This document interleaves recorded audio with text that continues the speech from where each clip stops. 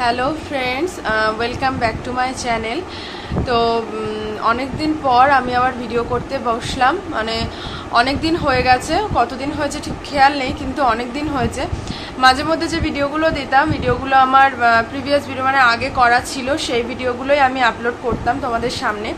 তো এতদিন কেন ভিডিও দিতে পারিনি? কি সমস্যা হয়েছে সেইটাই তোমাদের সঙ্গে শেয়ার করব বলে আজকে আমি বসেছি। ছোট্ট একটা ছোট একটা কথা বলে আমি কেন দেইনি সেটা তোমাদের সাথে শেয়ার করে নেব। আর তার সাথে একটা ভিডিও আমি মানে নীল ষষ্ঠীর একটা ভিডিও আমার করা হয়ে গেছে অলরেডি তো সেইটা আমি তোমাদের সঙ্গে আপলোড করব। তো বলি যে কেন আমি করিনি কদিন ভিডিও তার কারণ হচ্ছে আমার বাবির দোল পূর্ণিমার একদিন আগে মানে দোল পূর্ণিমা গেছে শুক্রবার হয়তো শুক্রবার ছিল, তো বুধবার দিন ওর হাত মানে হাত বটিতে কেটে গেছে মানে ষোলোই মার্চ ওর হাতটা মানে ও খেলা করছিল আর সবজি কাটা হচ্ছিল, বটিতে সবজি কাটছিল। তো আমি কলে ছিলাম, সবজি কাটা হচ্ছিল, যেই কাটুক, মা কাটুক, আমি কাটুক, সবজি কাটা হচ্ছিল। তো ও সবজি ঝুড়ে, ওখানে ও খেলাই করে, উঠোনে আমাদের সবজি কাটা হয়, তোমরা যারা আমার ব্লগ প্রতিনিয়ত দেখো, তারা জানবে। তো সেখানে ও গেছিল, ওর গাড়ি আছে একটা, সেটাও হয়তো তোমরা দেখেছ, কেউ না কেউ ভিডিওতে আমার দেখেছ। তো ওই খেলা করছিল ও এটা নিয়ে, গাড়িটা নিয়ে খেলা করতে করতে হঠাৎ বটির কাছে গিয়ে বটিতে কি নিতে গেছে মানে বটিতে না সরি ঝুড়ি থেকে সবজি নিতে গেছে। নিতে গিয়ে তখনই ওর হাতটা বটিতে কীভাবে পড়েছে আমি তো দেখিনি। তো মর্মান্তিক ঘটনা আমাদের সঙ্গে একটা ঘটে গেছে। কেন আমি এই কদিন ভিডিও দেইনি? এটাই তার একমাত্র কারণ। তো মর্মান্তিক ঘটনা ঘটে গেছে আমাদের সঙ্গে একটা। তো সেই ক্লিপটা তোমরা একটু ছোট্ট করে দেখে নাও যে বাবির হাতটা কি অবস্থায় আছে। তারপর ফিরে আসছি। হয়েছে হয়েছে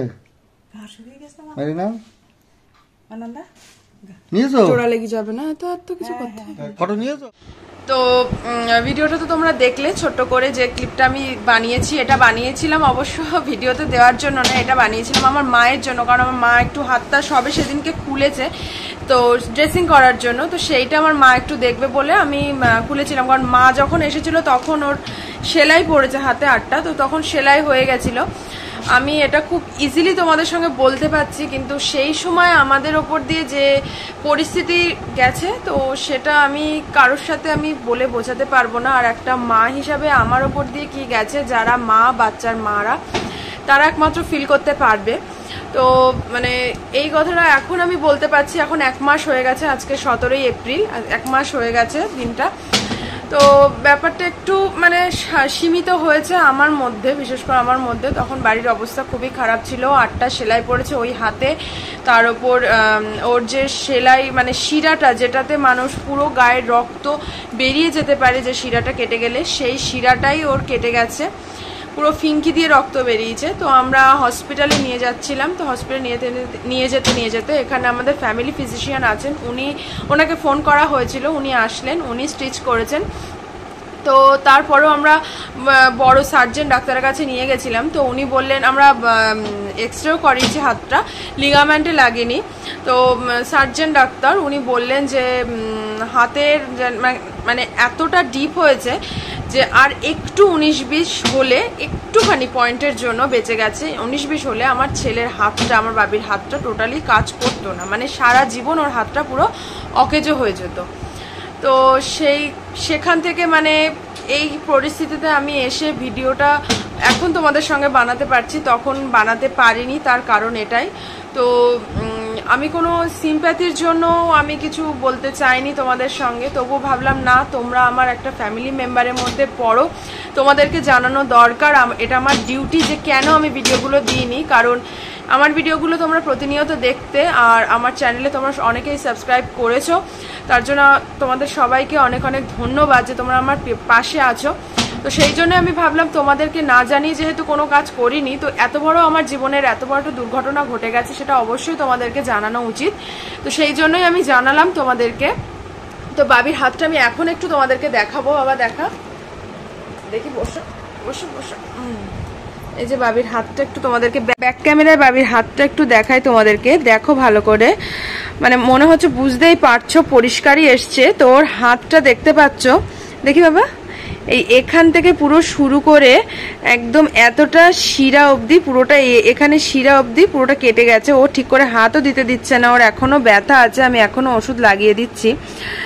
তো দেখতে পাচ্ছ আমার মানে আমি যে কি পরিস্থিতিতে গিয়েছি এতদিন তো যাই জন্য আমি ভিডিওটা শুট করতে পারিনি। তোমরা বুঝতেই পারছ একটা মায়ের ওপর দিয়ে কীরকম মানে কি যায়, কি না যায়।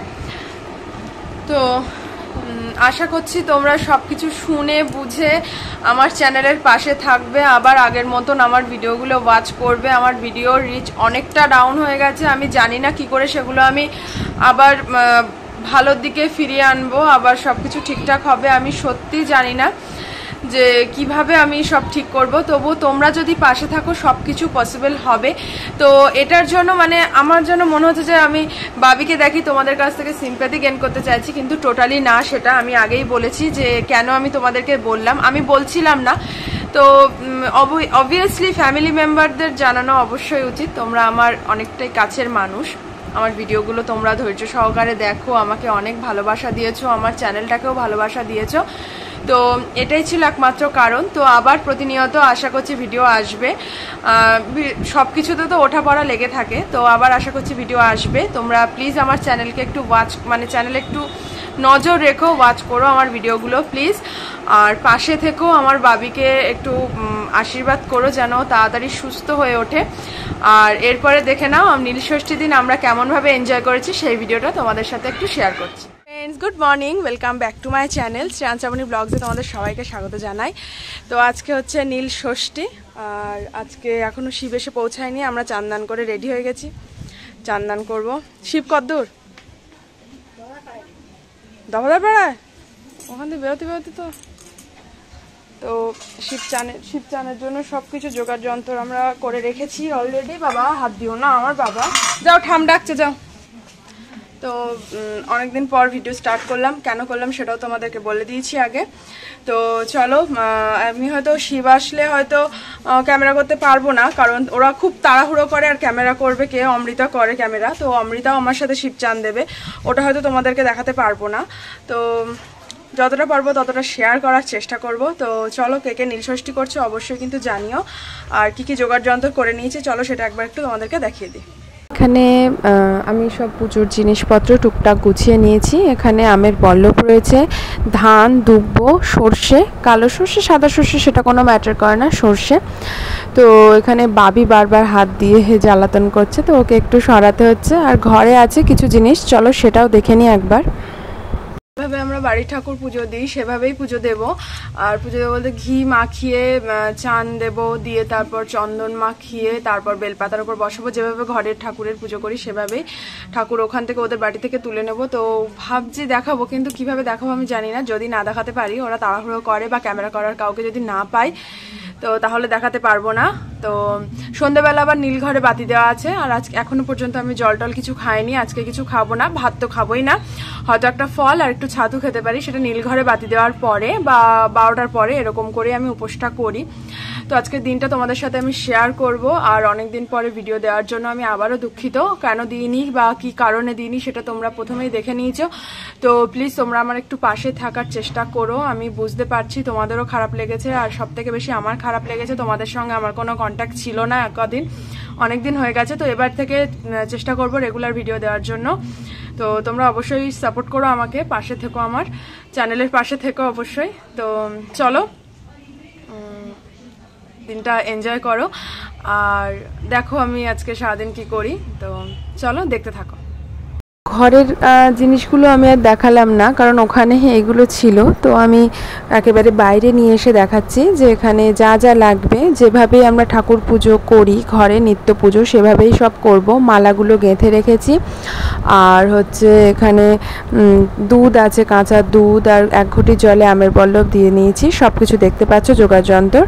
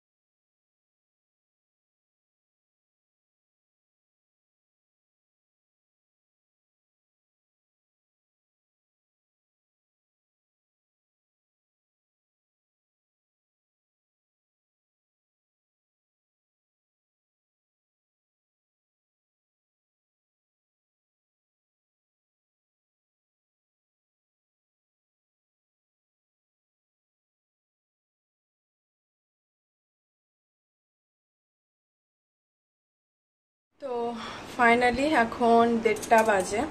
তো আমি এই মাত্র একটু জল খেলাম। জল খেয়ে ওপরে আসলাম। এতক্ষণ জল খাইনি। জল খেয়ে ওপরে আসলাম। আর হচ্ছে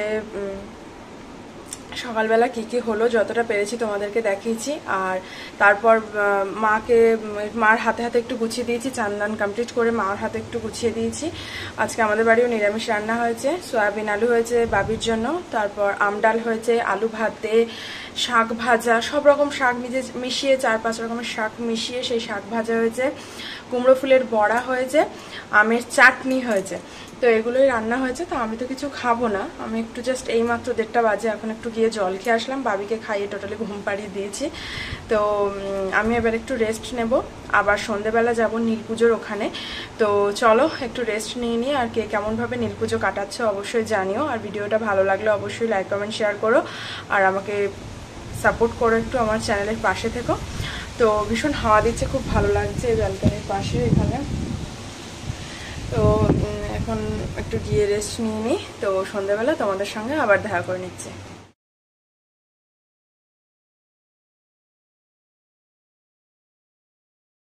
তো বুঝতেই পারছ, সন্ধে হয়ে গেছে সেই জন্য এখানে চলে এসেছি। মানে যেখানে পুজো হয়, আমাদের চড়কের পুজো। সেখানে ভালোভাবে ক্যামেরাটা করতে পারছি না আমি এখানে এসে।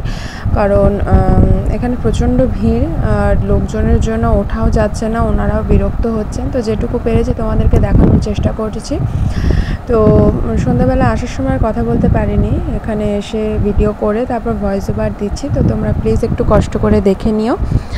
আর ভিডিওটা কিন্তু আগের আমার অনেক আগের। আমি এখন ভয়েস ওভার দিয়ে আপলোড করছি। আমার করা ছিল। আমি তো প্রবলেমের কথাটা বললাম, সেই জন্য আমার ভিডিওটা পোস্ট করা হয়নি।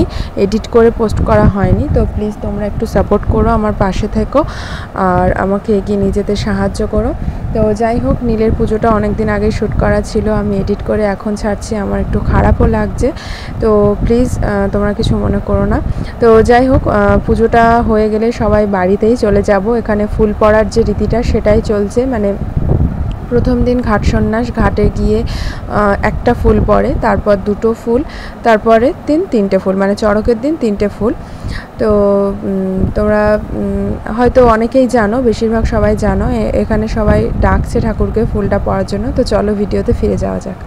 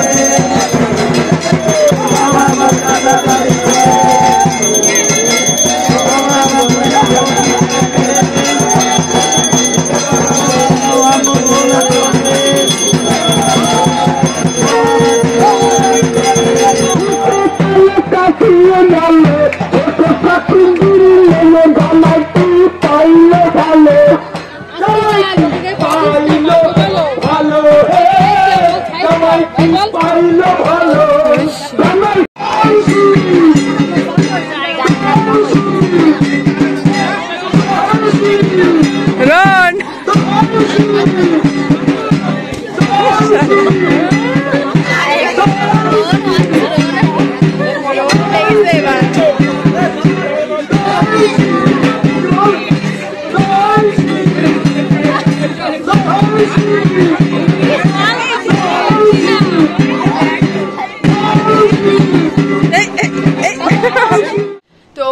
এইমাত্র বাড়ি আসলাম।